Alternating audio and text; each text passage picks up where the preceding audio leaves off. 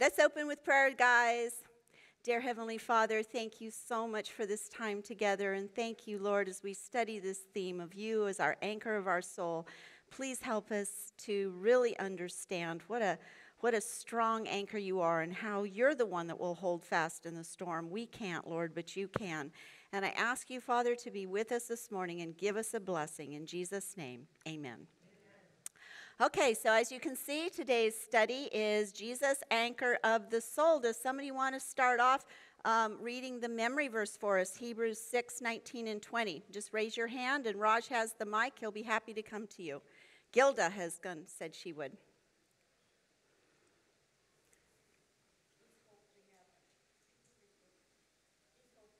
Raj, you want, can, can we turn the mic on over here?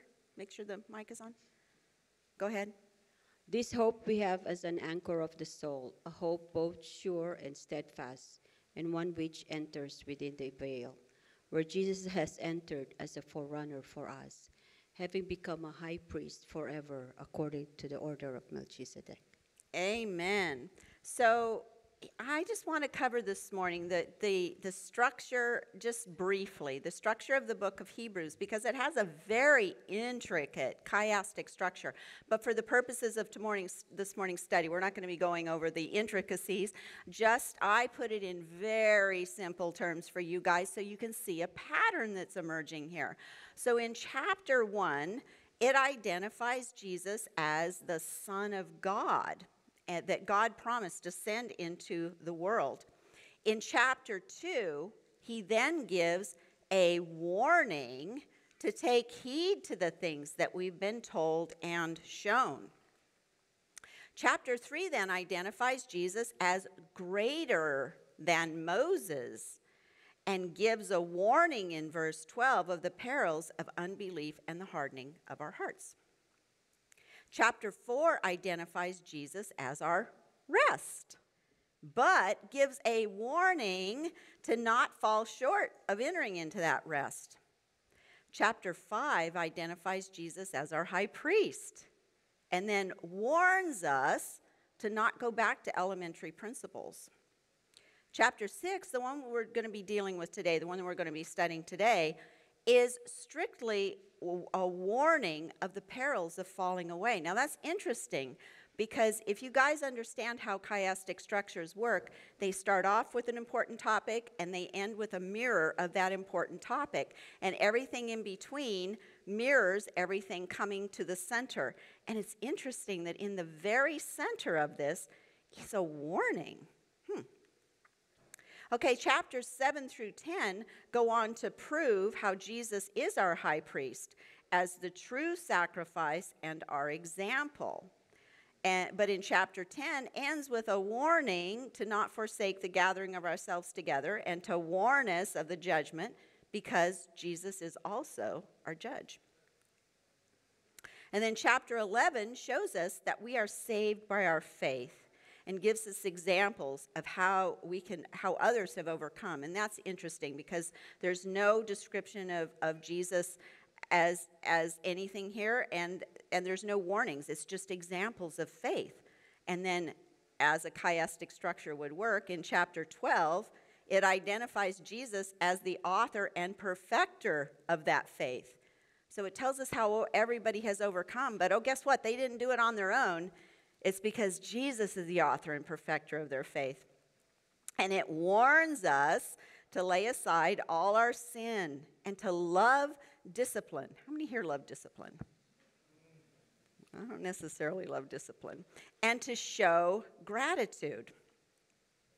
And then chapter 3 ends with telling us not to be afraid um, because Jesus is our helper. So, two things to note from this. The author is intent on defining who Jesus is in all his capacities. Why? Well, because the Jews, remember, denied Jesus, right? They said he wasn't who he said he was. And so this was affirming that Jesus was everything they were looking for. Remember, the Jews revered Abraham.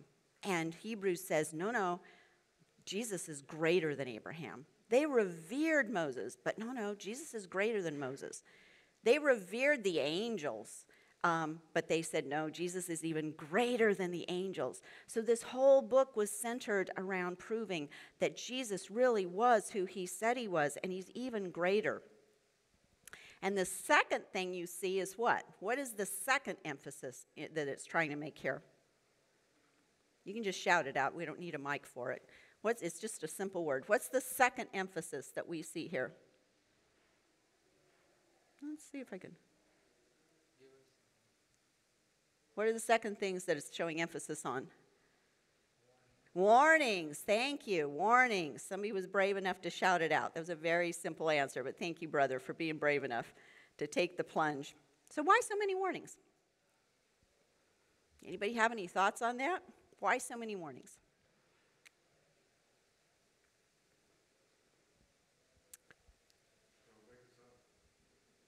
To wake us up. That's exactly right. That's exactly right. So the warnings are let's see if any of these apply to us today. Maybe they were just for the Jews back then. So take heed of the things that we've been told and shown. Do we need that for us today? We've been shown a lot of stuff. Are we still taking heed to them? We always need to check ourselves, don't we? Perils of unbelief and hardening of our hearts. You know, sometimes we can get complacent. And the more we drift off and do the things that we do that are kind of skirting the edges of that gray area, we become complacent in doing them. And the more gray that area gets until pretty soon we're in the dark area. It tells us to not fall short of entering into his rest. That's very important because the Sabbath is what sanctifies us, right? Uh, tells us to not go back to elementary principles. We should keep adding line upon line, precept upon precept. We shouldn't be just studying the basics over and over again. We're to be diggers into the word and then not to fall away, not to forsake the gathering of ourselves together. Ooh, this is an important one, especially recently when we have a government telling us, no, no, you're not to gather. Do we obey God? Do we obey man? And then to lay aside all sin. And then, there again, love discipline, because guess what? That's what corrects us, that's what makes us go on to do the right things and to show gratitude. You know, the more I show gratitude, the happier I become. The more you look on the negative, by beholding, we become changed, right? Okay, so why so many warnings? We just covered that. I forgot to change slides, sorry. So Ellen White tells us in Acts of the Apostles, uh, in the churches, open, unmasked error was supplanting the gospel message. And Christ, the true foundation of the faith, faith, was virtually renounced for the obsolete ceremonies of Judaism. You know, that can happen to us today. I'm not saying it has, I'm saying it can. You know, we get so used to the routines, so used to the, you know, going to the church and singing the songs and doing the rituals that are we really putting Jesus in the center of all of it? She says the apostles saw that if the believers were saved from the dangerous influences which threatened them, the most decisive measures must be given, the sharpest warnings given. So the more lethargic we become, the sharper the warnings need to be. Okay, so Sunday's lesson starts off tasting the goodness of the word. And so somebody want to read Hebrews 6, 4, and 5 for us. 4 through 5, 4 and 5. Yeah. Just raise your hand. Thank you. For in the case of those who have once been enlightened, they have tasted of the heavenly gift and have been made partakers of the Holy Spirit, and have tasted the good word of God and the powers of the age to come. Wonderful. So, what three things were the believers in Christ given while they, as long as they were stayed faithful to Him? What were the three things up here? They were enlightened. They were given a heavenly gift. And they were partakers of the Holy Spirit. Thank you. So let's go through them one by one. What's the benefit of being enlightened? Anybody have a Bible verse or something that comes to mind? What's a benefit of being enlightened?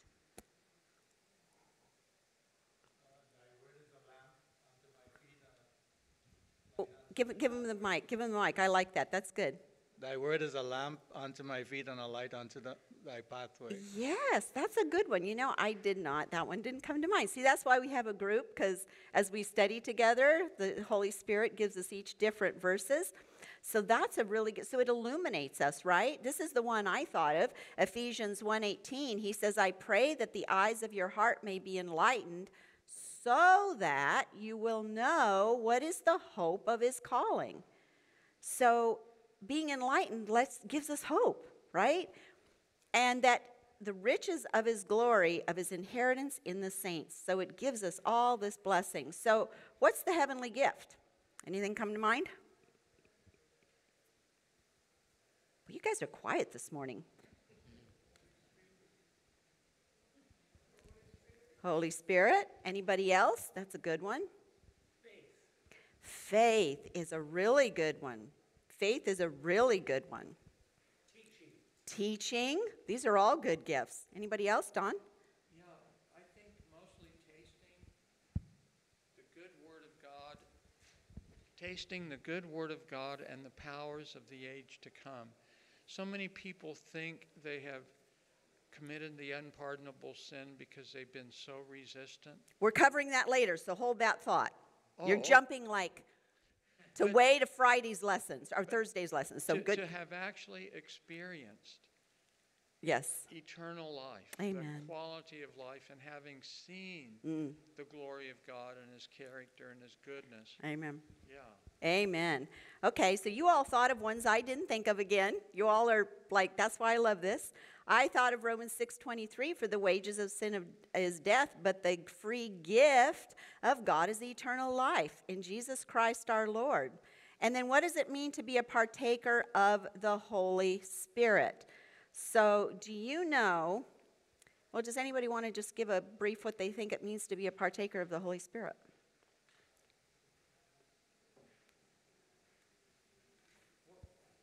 Go ahead. I'm gonna turn this this way. Um, what it means is that you experience the divine nature Yes. just as God was in Christ, Mm. reconciling the world. So to have to be a partaker of the Holy Spirit means that we, and this goes back up to the previous verse there, verses four and five, is is is to is to have the to have a divine nature. Amen. Amen. And so, guess what? Do you know there's a Bible verse that two Bible verses actually that can tell us and explain that to us? So, somebody want to read Isaiah 11, 1 through 3? Go ahead, brother. The Holy Spirit was given as a helper. Yes. He was said, I'll send you a helper. a helper. Amen. Amen. Did you want to read too or no? Were you just making the comment? You're welcome to read if you want to read. No? Okay. Thank you. That was a very good answer. That was a very good answer. Somebody want to read this verse that's up on the screen? Thank you. Wait, wait, wait, wait. It's going on record, so we're going to make you have the, even though you have a nice projection. Then a shoot will spring from the stem of Jesse, and a branch from his roots will bear fruit. The Spirit of the Lord will rest on him the Spirit of wisdom and understanding, the Spirit of counsel and strength, the Spirit of knowledge and the fear of the Lord.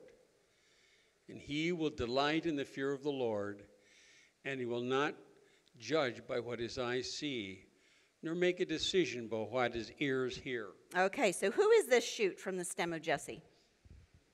Jesus. That's exactly right. That's Jesus. And so it says that it says the Spirit of the Lord will rest on him. So did Jesus just get a little bit of the Holy Spirit or did he get the fullness of the Holy Spirit? He got the fullness, right? So let, so he needed that for his mission on this earth.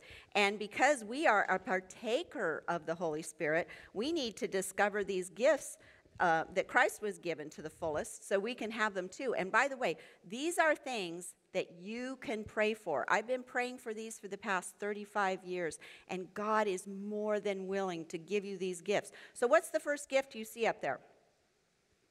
Let's do them in order, not jump around, because I'm gonna, I, I put them in order. So, wisdom. You guys are good. Okay, wisdom. Wisdom is important because nowadays people's heads are full of information from all different sources. So people have having information doesn't make you wise. Being able to sort that information and put it in godly perspective and then utilize it. That's called wisdom. So we need wisdom and we can pray for that. What's the second one? Understanding. Man, this one to me is, I can't say that one's more important than the other, but this is huge. You know, I pray all the time, Lord, insofar as possible, let me understand you. Of course, we can't understand God to the fullest, but insofar as possible, let me understand you. And your word, God, I want to understand your word.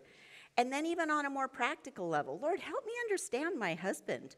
You know, so many disagreements come from a misunderstanding. You know, people saying, well, you said this. Well, no, not what I said exactly. I meant that in our church family. Give me understanding for my church family.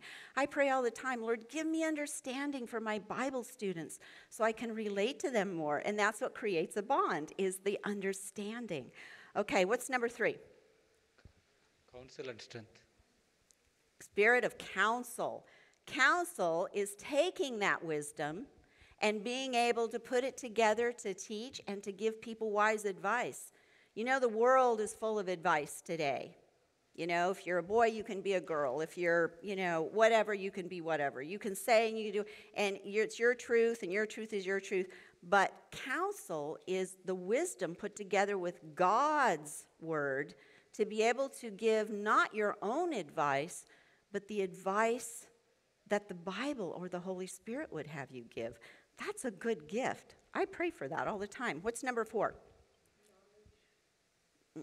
Strength. Strength. So we learned a few months ago. I'm sure none of you remember, but you know when when we pray, you know, to love the Lord your God with all your might and all your power, that was the word, the Hebrew word me'od, and it meant veriness or muchness. Um, but this word is not that. This word is a word called gabura. Sorry if I'm smattering the, uh, the uh, Hebrew, um, which means forcefulness. So, why would we need forcefulness?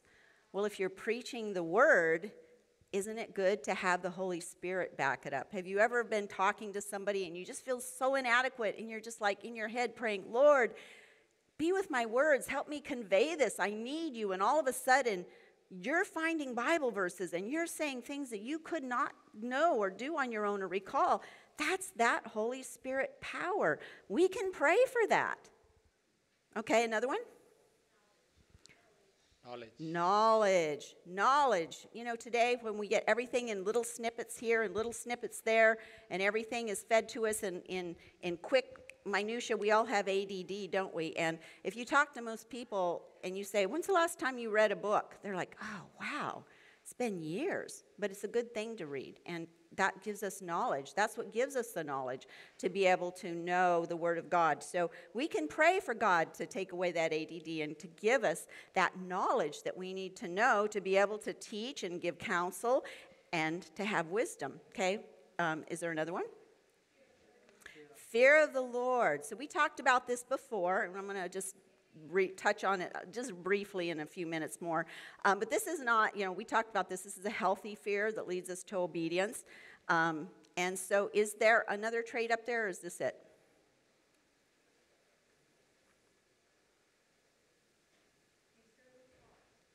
Mm, Jennifer kind of touched on it. So, look, there's something up there. It doesn't really say that, does it? But it says, He will not judge by what his eyes see, nor make a decision by what his ears hear. So is, is that something?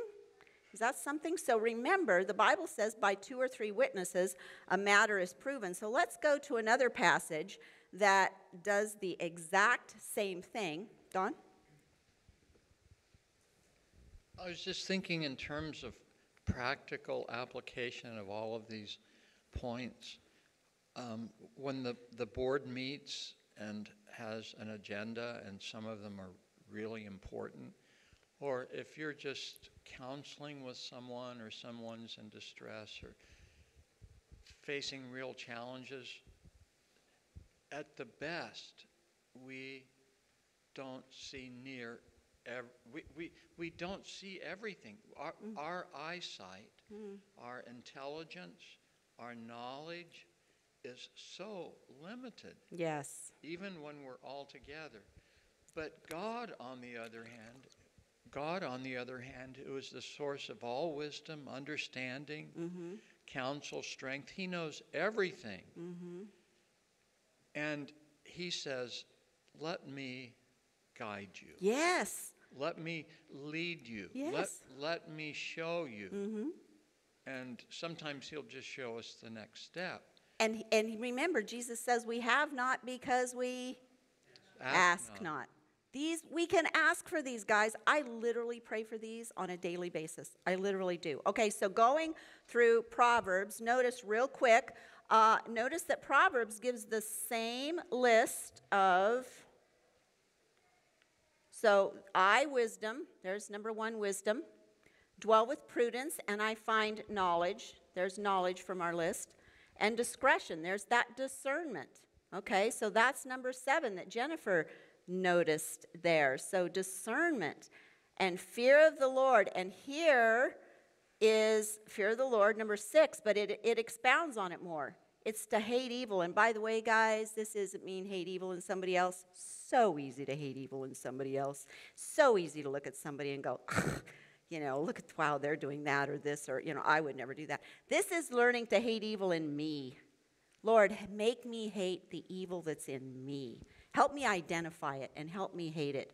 Pride and arrogance and the evil way and the perverted mouth. Okay, and then number three, counsel, there's counsel, is mine and sound wisdom. It repeats it again because who can have n- enough wisdom? And I, understanding, and power is mine. Where's the power? There's power. So notice that it gives it. So, what is discernment?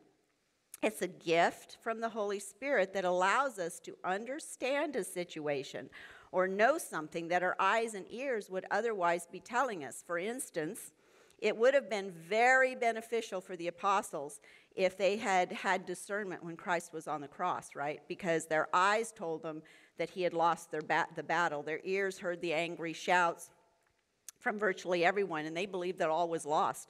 So, discernment in that moment would have allowed them to look beyond what their senses were relating to them. So, discernment is a super important gift to pray for, to look beyond what appears to be. And the reason they, the reason they didn't have it is because they wouldn't listen. Right. They weren't in prayer enough. Yeah. So Monday's lesson, I, you know, I'd like to know how I did that because I didn't do that on purpose. How it cool scrolls up there. I, I, that was an accident, guys, but kind of a cool accident. Anyway, I shouldn't have told you that. You would have all thought I'm like some sort of a computer genius. But anyway, impossible to restore. I like this next section section because this is what you were alluding to, and we're going to get into this. Somebody want to read Hebrews 6, 4 through 6? For in the case of those who have once been enlightened and have tasted the heavenly gift, and have been made partakers of the Holy Spirit, and have tasted the good word of God and the powers of the age to come, and then have fallen away, it is impossible to renew them again to repentance, since they again crucify to themselves the Son of God and put him to open shame. So I remember, you know, when I came into the church when I was 13, and then um, I fell away when I was 17 because, of course, at 17 you know everything. Why do you need church or God? And I was away, and what I learned in the world was it terrified me. And I knew that God had given me the best thing that I'd ever had in my entire life. But I remember reading this verse, and it scared me to death, thinking that there's no hope for me. So, why does this verse say that it is impossible to renew someone that has fallen away? So, we're going to read some verses. So, uh, first, in order to answer this, we need to examine what it means to come to Christ in the first place and to be crucified. So, I need four volunteers. If you can raise your hands, they're just short little verses, as you can see, but Raj will be happy. Just four people. Okay, there's Amber back there. There's a gentleman here. What's your name? Jason. Jason. So, Amber, Jason, I need two more. Martin said he will. Did you want to? No? Somebody want to read? And then Verna. Okay, so got that, Raj? I'm going to count on you to remember.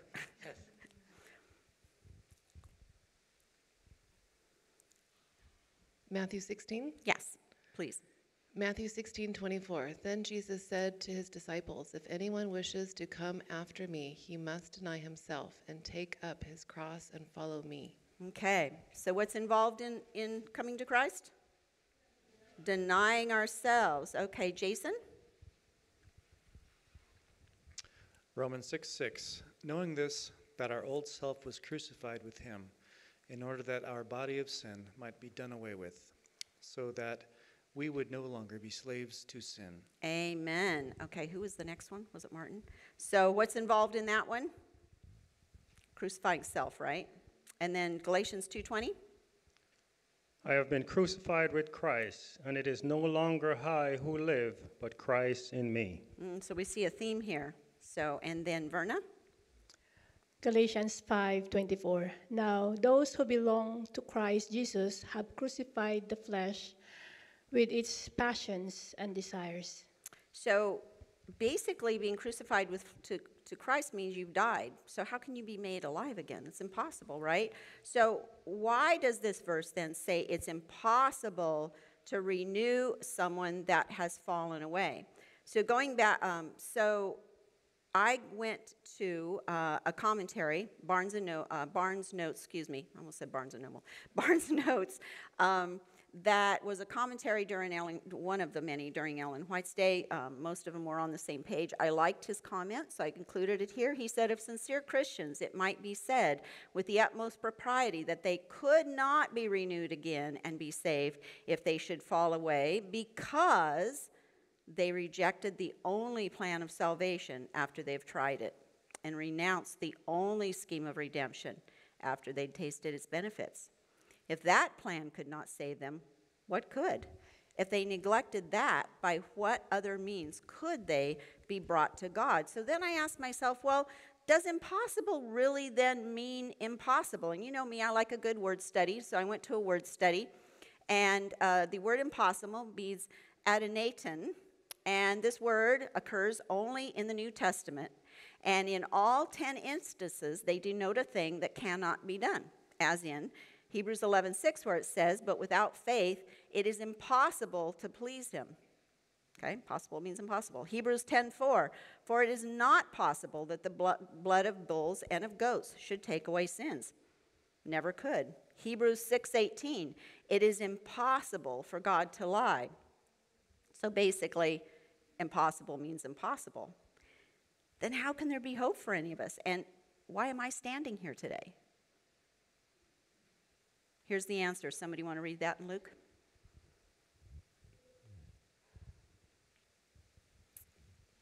Oh, thank you, Jim. Oh, the whole verse? Mm-hmm. Luke 18, 24, 27. And Jesus looked at him and said, How hard is it for those who are wealthy to enter the kingdom of God? For it is easier for a camel to go through the eye of a needle than for a rich man to enter the kingdom of God. They who heard this said, Then who can be saved? But he said, The things that are impossible with people are possible with God. Mm. Isn't that beautiful? Let that soak in a minute. So the things that are possi- impossible with God are impossible. God says, if I tell you it's impossible with me, it's impossible because I can't lie. But things that are impossible for you are not impossible for me. So if it's impossible to renew you again to, to being a Christian, guess what? I can still do that. Jim? The other thing is things that are have to be spiritually discerned. You Mm-hmm. have to have the Spirit. So if you have a non Christian or a Christian, if the Spirit doesn't speak to them, they won't understand it. Yes. So the good news is is that God can make all things possible, and that's why I'm standing up here today. Amen. Okay, so Tuesday's lesson. Moving on, uh, right on time. Man, can't believe it. Okay, so Tuesday's. Did you have a comment, real quick? Okay. Yeah, if it was on what we were talking about, you can go ahead. I'll let you know, and I'll shut you up. No, I'm just kidding. Paul talks so much about conversion, the new birth, um, being alive in Christ, self being crucified.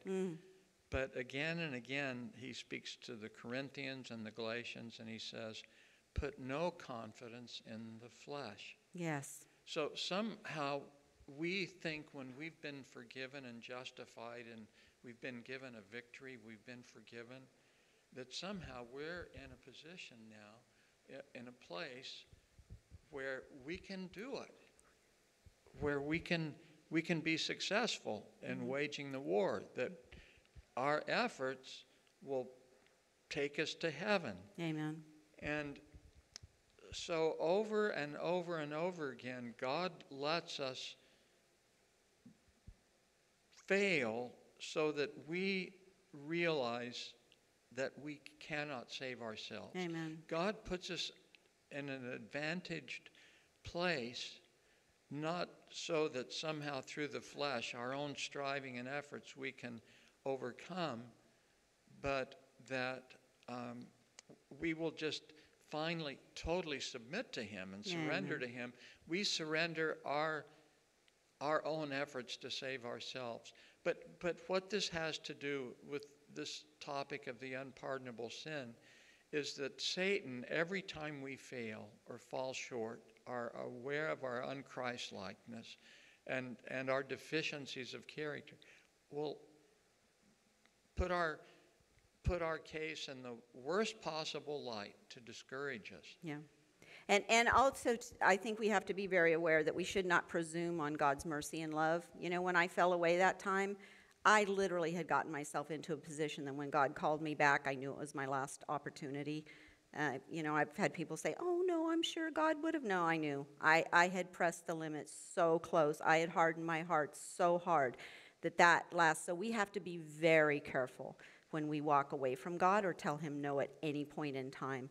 Um, I'm literally standing here by the grace of God. Okay, so somebody want to read Hebrews 10 26 through 29? Rich. For if we go on sinning willfully after receiving the knowledge of the truth, there no longer remains a sacrifice for sins, but a terrifying expectation of judgment and the fury of a fire which will consume the adversaries. Anyone who has set aside the law of Moses dies without mercy on the testimony of two or three witnesses. How much severe punishment do you think he will deserve who has trampled underfoot the Son of God and has regarded as unclean the blood of the covenant by which he was sanctified and has insulted the Spirit of grace? So, how does having no sin for sacrifice happen, according to this up here? I highlighted it in red as a clue. I know you guys are sharp. you can shout it out, it's just one word. Willfully. It happens willfully. So, it happens willfully. So, notice there's a progression here. Uh, this is a willful leaving. And the very essence of being a Christian is not my will, but thine be done. It's a dying to self. And at some point, it's a willful no, God, uh uh-uh. uh. you have gone too far. I'm not going there with you. And I am going to do what I am going to do. And that's a scary place to be. Uh, it's having a disregard for the covenant, as in Galatians 25, 32 through 34, where it says, Esau said, Behold, I'm about to die. So then, of what is use this birthright to me? And so he sold his birthright to Jacob. Then Jacob gave Esau uh, bread and lentil stew, and he ate and he drank, and he rose and he went on his way. Thus Esau despised his birthright. He literally sold his whole covenant to God for something cheap and in the moment.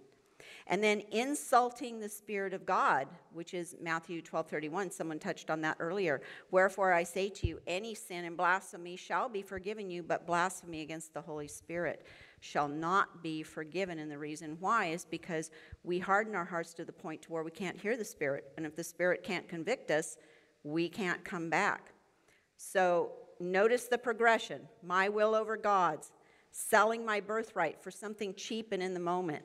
Well, God, you know, just this one Sabbath, there's this sale, and you know, my budget is tight. And if I just, you know, I'm just going to run to the store and buy it because after all, it's, it, I'll use it for you. It's, it's, it's selling out God for something I want in the moment, which finally leads to committing the unpardonable sin. So the quarterly brings out the important point that the word insult means hubris, arrogance, conceit, vanity, and pride. Why is arrogance, conceit, and uh, why is it arrogance, conceit, and pride to trample God's covenant?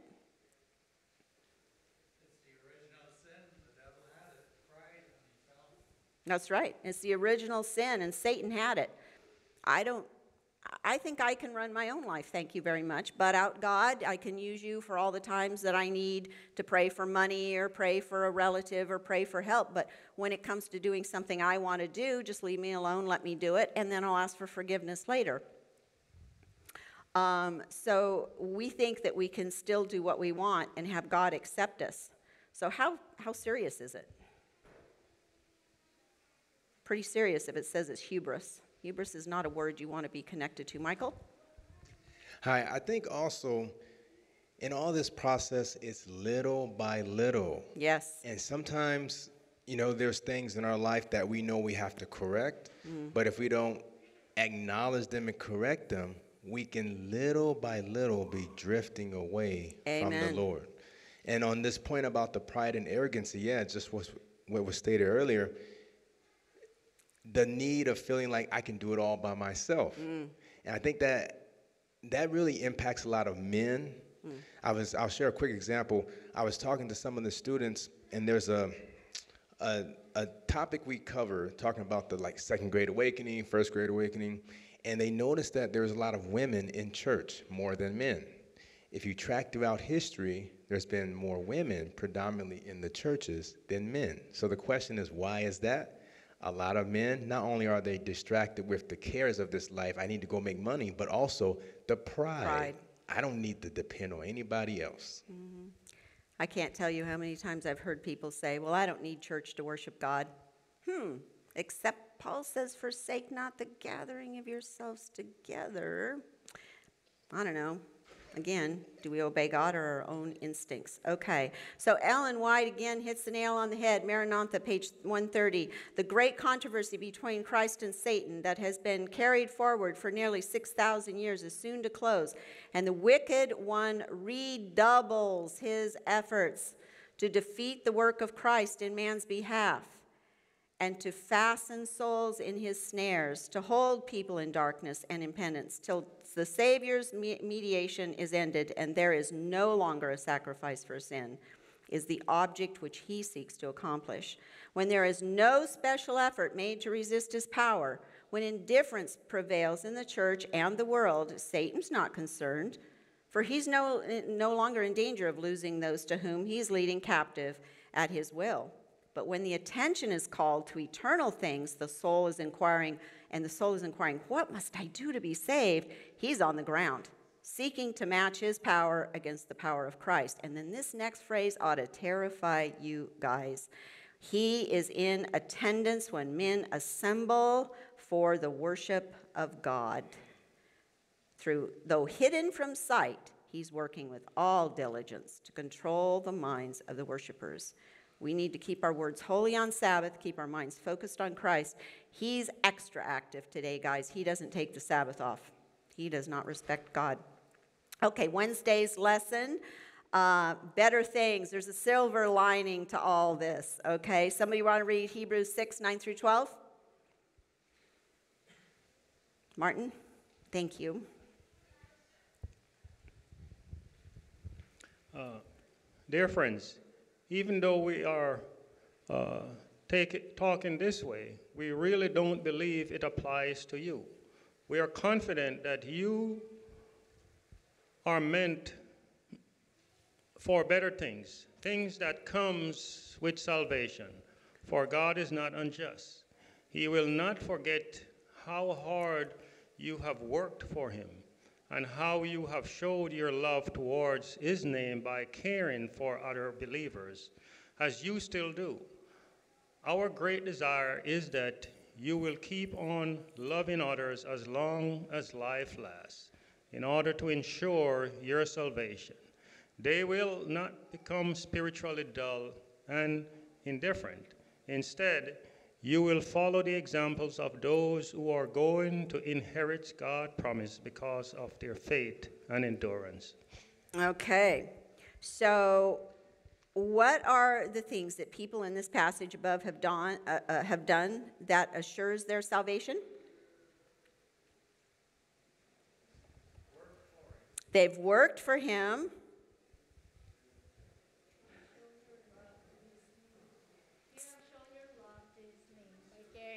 Caring for other Caring for other believers. And there's one more. Loving others. And loving others. Loving others.